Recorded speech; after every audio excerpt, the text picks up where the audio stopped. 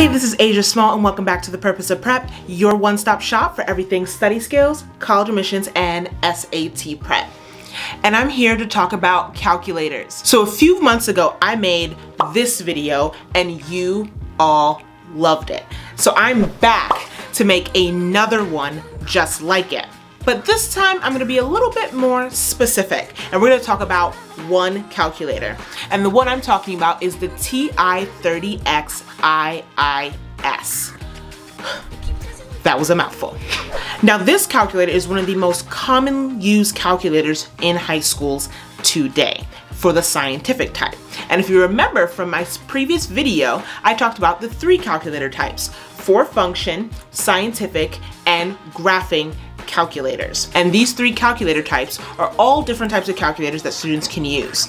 And if you remember the end of my video, you know the one I enjoy the most is the scientific calculator. And that's the type of calculator we're talking about today. So first, I wanna go over the basics of this calculator. So this calculator covers all of the same four basic operations, division, multiplication, subtraction, and addition. It also covers square roots and exponents, and it can also do trig functions or trig ratios like sine, cosine, tan, and their inverses by clicking the second button here to get the inverse of sine, cosine, and tan as well. So it has all of those basic functions that you can expect in a regular four function calculator.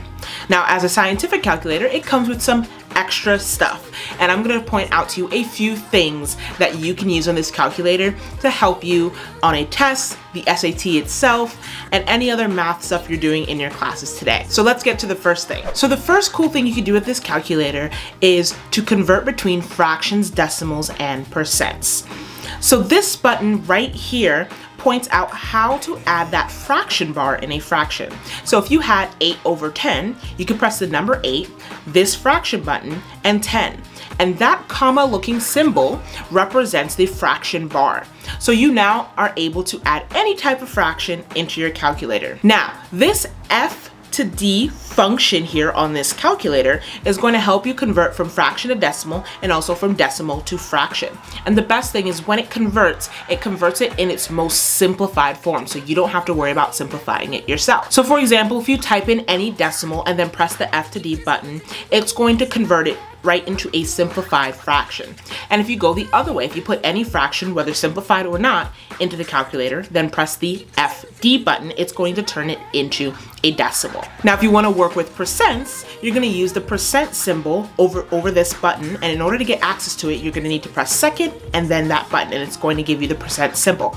So you can put any number in front of that percent symbol, and then still use the F to D button to convert it to a fraction, or convert it into a decimal. So that's one of the cool things this calculator can do, is convert from fraction, decimal to percent, and vice versa, so that you can spend less time worrying about those conversions and more about the actual problem you're trying to solve. Now the second thing this calculator can do is simplify fractions. So when you put in your fraction using that cool fraction symbol on your calculator, it will simplify it no matter how large or how complicated the fraction is. So that if you're working with a fraction that's in the hundreds or thousands even, and you don't have time to figure out what numbers divide into the numerator denominator to simplify it, just use the calculator to do so. This is gonna help you speed up so that you can focus on on the actual problem and less on simplifying fractions. The next thing you can do with this calculator is work with other roots. So the most common root we're used to seeing is the square root or the second